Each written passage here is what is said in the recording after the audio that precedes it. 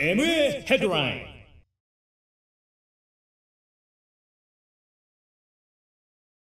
ンで今回まあ新バンド組もうってことになったと思うんですけども、ね。これ3人にしようってなったっていうのはどういうタイミングだったんですいやだからそのキープザロフトはい。の話からの流れで、かはい。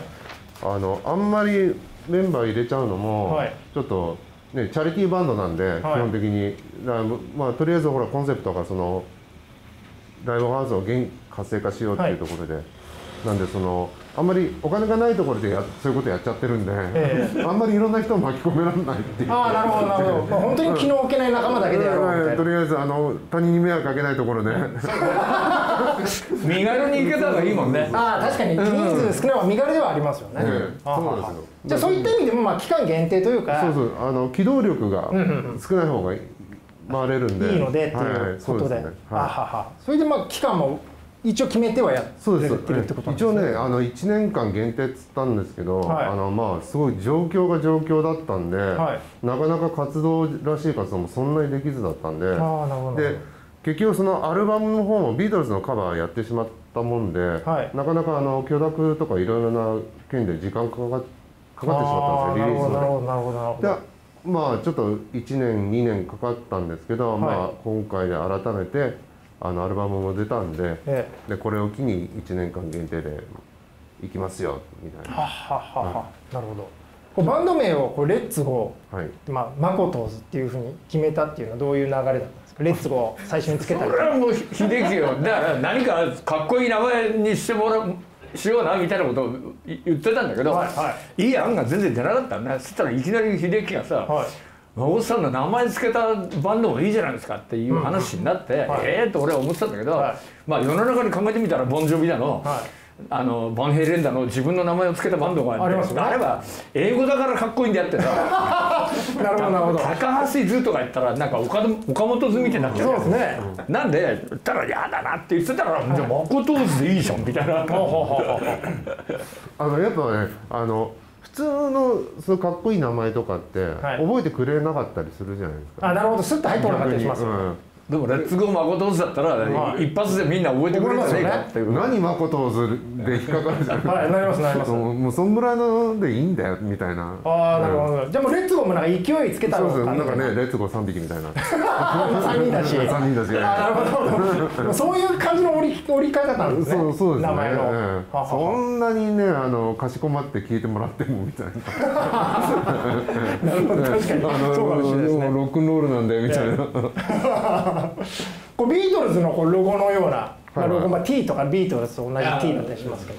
これもそういうなんか感じで、まあ、ビートルズ好きだしみたいな感じで。そうですね今回カバーなんで、はい。まあそれに、まあ、真央さんがやっぱビートルズ一番好きなんで,、うんなるほでやっぱあのコンセプト的にはそういう色合いの方はい。が締まるんじゃないかなと思って。えで「マコトーズ」ってみんなでちょっと書いてみたんですよ。はい。でマコトーズってででどんな感じっつって書いて、はい O がやたら多いことに気づいたんですよね。うですね。多いですよね3つ。O がこんなに多いってことは1個ぐらいなんかシャッて入れてもいいんじゃないか、これな。うん、シャッてそんな軽い思いつきだったんですねシャッて入っても誰も文句がないんじゃないいいだろうと。うん、O がこんな多いんだからみたいな、はいはいはいはまあそういういのもありつつっていうことなんですね、はいはいはい。なるほど。そんなきっかけでしたね。ははは。これ3人のこうアーシャは、まあ、林田さんのお店のはい。で撮られたわけですよね、これはまあ最初最初からそのリンダ・ガレージで撮ろうかなという流れもうね。なんかそこもまあまあどこでもいいやという話からじゃあうち、あのまあスペースもあるし、はい、じゃあここで撮りましょうかみたいな、うんでなんか雰囲気がピタッとはまってたんで、うんあのじゃあもうぜひここでやりましょうみたいな。うんなるほど。ちょっとビートルズっぽい写真にもしようみたいな話になりつつそうですね、うん、寄せようみたいなあ感じあなるほど、はい。はいこれ林田さんがこのお店を始めたきっかけっていうのは何だった最初はですね、はい。あのフィギュアメーカーだったんですよ。フィギュアメーカー。フィギュアメーカー、はい。それであのそれがどんどんあのブームを去っていき、はい。それで売れなくなって。はい。それでこうちょっとあのそういう時に限ってあの放火にあったりするわけです。放は火事件にあって。あ。はそれでそれで今の西荻窪にあはい。あの移転したんですけど、はい。まあフィギュアとも全然関係なくまあ、あのちょっとしたライブバーをやりたいなと思って、はで今に至る感じですね。なるほどあのこうすぐリンダガレージを始められた最初からリンダガレージってなるとスッとくるんですけど一回フィギュア入ってるんですよフィギュアメーカ間にーです。はい。フィ最初最初がフィギュアメーカーフィギュアメーカーってすみませんちょっとそこ深掘りしたいんですけど、はい。ちょっと、あのーどういった形のものでどういうアプローチしたものなんですか、あのねクローズで漫画わかります？あはいはい、はい。その高橋宏先生の。ええ高橋宏はい。がその前やってたオードボーズっていうバンドはのファンで、えそれでよく見に来ててでまずはそこで知り合いになったんですけど、はい。後にあの福岡のフィギュアメーカーのやつが知り合いで、ええ。そいつがクローズやりたいはで真ん中入ってくれないかとはいうことでそれであのなった感じですね。あ、なるほど、その高橋宏先生とのもう交流っていうのはもうそれがきっかけだったわけです。見に来られてたっていうことを後から聞いて、そうですね。はい、それで楽屋に来て、はい。まだクローズが 3, 3巻ぐらいあだったんですかね。でこういう漫画描いてますってはい。それからまたあのリーゼントのね、なんかヤンキー漫画 みたいだなっつってちょっとほほっといたんですよ。はいはいわかりまえしたみたいな。分かった分かった。まあどうせこうだろうなと思って、それでまあ毎月こう送ってきてくれるわけです。あなるほど。だからもう大体10巻ぐらい溜まって、はい。である日その暇な時にはい。ちょっと見てみようかなと思って1巻から見たら、はい。なかなか面白くてですね。ええあこれヒットするな大ヒット漫画ですよね。ええそれぐらいの内容が面白くて。あーなるほどあの俺も打ち上げの時に、はい。い広瀬先生に会って、はい。はほんであの「お前漫画描いてんだって」みたいな話になったさまだ俺読んでなかったんだよ、いはいはいはいはい。そしたらみんな面白いよとかって言うから「えへえ」っつってでもそのやつはあのボーイも好きだったらしくて、はいそれなんで解散したんですかみたいなこと聞くわけよ俺ファン心理でね。うん、はいそういうのいちいちうるせえなお前は。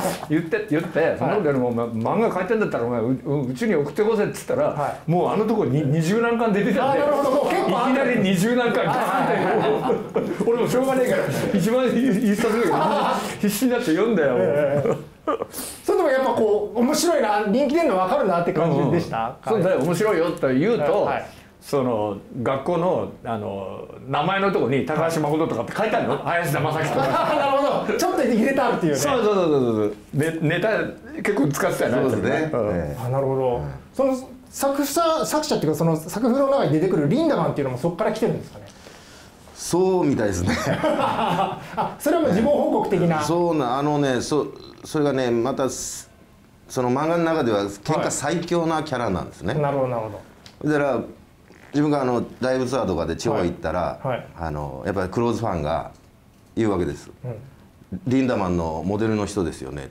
はだからね、まあ、ちょっとひそこでひるむことはできないかあら、そうですねそうですねドキドキしながら、はいはい。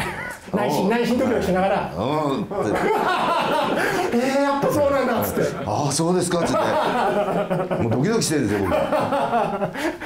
試そうぜなんか言われたらどうしようかなみたいそうななんですよ。あなるほど、はははは。そこの、まあ、た例えばその、まあ、リンダガレージで撮って、まあ、それをアーシャにしようと。であの同時にじゃないですけど、まあ、YouTube チャンネルも立ち上げられていますけどもこれはどういう流れで？いやあのそれはあのまあ深い意味はなく、はい。あのまあまあただあのプロモーションのために使ってる。バックステージをまあ撮ろうかみたいな感覚ですよね。覗き見的な、ええ。はい。高橋さんはなんか YouTube もさまざまな YouTube チャンネルにもご出演されているということで。ああはい。あの今ねもうはい。そういうのが結構あるから、はまあ頼まれるとえ出てくれって言われたら行くし、はい。うん、みたいな感じ。え息子さんのバンドでボーイの曲のセッション。ああややったね。まあ息子たちもバンドやってるんで、はい。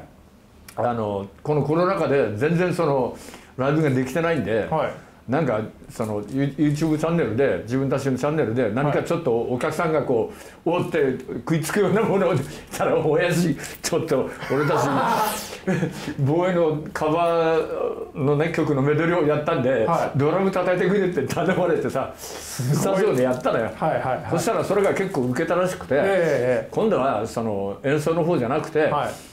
面白いトークをしてくれと。なるほどなるほどでその場所借りるから、はいお酒飲みながらでもいいから、はい。なんか面白い話をしてくださいよって言われて、ええ。結局飲まされてああれでもねこれでもねっていうことを ポコポコえー喋ってたらそれがなんかこう4分割ぐらいうまくあなるほどなるほど。編集さ小出し小出し。にされて ただなんかそそこも受けたみたいな。ああなるほどなるほど。まあいいんじゃねえかっていう。はははははじゃあ割とその YouTube に出ることに対して抵抗とか別にないあななないないです、うん。うんだってあのごご飯をただただただ食べるっていうチャンネルのやつが俺すごい好きで見てて。あそうなんですか、うん。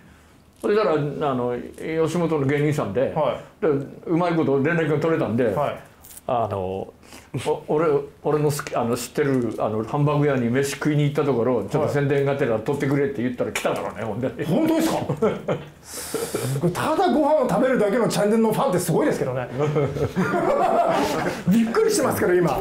いやいや。そうなんです。いろんなもんご覧になるんですね。うん結構見ますよなんか YouTube は、うん。ああなるほど。そまあれじゃ音楽ものに限らず。あははは今面白いのは UFO キャッチャーで何か物を取ってるやつが一番面白い。じ自分でやるから楽しいんじゃないんですかねいいまずそれ携帯で見てる？大体。あ携帯で携帯で見てる？るここれスマホで見て携帯で見てるんですか？うんスマホで見てる、うん、だって女子高生と一緒じゃないですかもうもういいやこれ。YouTube 携帯でずっと見てるって。すごいですね。UFO キャッチャーただ撮るやつを見てる。うんうんうん。だから結構面白い。本当ですか？まあ自分でやるとはい。何枚もかけても一個も取れねえけど、まあ難しいですよね。やつらがうまいからさすぐ取るじゃん、はい。技があるんですかこの？うん、やっぱりいろいろなんかこうい二つ押してみたりとかっていろいろなんかやってるみたいなんだけど。すごいすごい好奇心が知的好奇心がね旺盛な感じですけども。なるほど。そしてですね、えー2021年の4月30日なんですけどもロフト X 高円寺こちらで有観客ライああはいはい、ブ、はい、ございましたけども有観客でのライブっていうのはいかがでしたか？うん。どうどうなんだろう？ん。うん、今までねあの無観客とかでロフトでもやってたりとかしてたけど、はい。やっぱりお客さん入るとは入った入ったで面白いよね、う、そうあやっぱねお客さん入るとみんな元気ですね。あなるほど。ちょっとグッと上がると、あのそうそうそう。本当音量も上がるし、はい。全然違うテンションがやっぱ全然違いますね、やっぱあの無観客ってある意味なんかこうスタジオで録音してるみたいな感覚。あーまあそうですレコーディングしてるみたいになっちゃってさ、はい。なんかいいも悪いもなんかないみたいなん。で、なんか冷めちゃうの？ずーっと。うん。ああなるほどなるほだど。からここにお客さんがいておーとかってまあ、はい。言ってくれるとこう乗りますしね。あ上がるんだよね、はい。はいはい醍醐味感は全然やっぱお客さんいいてくれた方が全然違いますよね。やっぱりライライブハウスでずっとやってきた人間にとっちゃやっそうぱりですよね。うん無観客ってすごく逆に辛いなっていう、うん、感じはすごいあったんで。うん。だからなるべく早くねそういうお客さんが来るような状況がはい。なったらいいなとは思ってますけど、はそしてその4月30日の時にはゲストボーカルもいろいろお出になられまして、まあ、オードボーズの中村義人さん、はい。そしてリンクスの岡田義明さんとラベンダーズのアキラさんが参加されましたけども、それぞれどのようなきっかけでオファーしていった形になるんですか？いやだってみんな知ってるもんな。そうですね。うん、で僕たちその時だけその自分たちのそのオリジナルっていうかそのはい。